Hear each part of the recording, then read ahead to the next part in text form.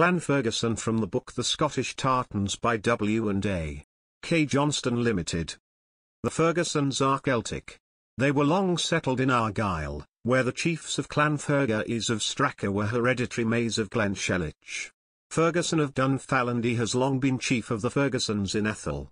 Two of the clan, sons of the Laird of Badyfarow, near Inverury, figured prominently. Robert the Plotter, concerned in the Rye House plot, escaped detection and died in 1714. James, a major general, served under Marlborough at Blenheim. The Fergusons, baronets of Kilkerran, have held lands in Ayrshire since the reign of Charles I.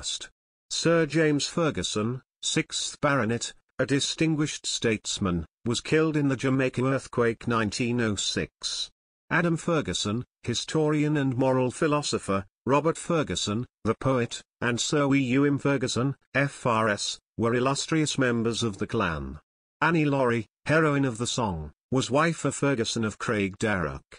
Brigadier General Ferguson commanded the Highland Brigade at the capture of the Cape of Good Hope.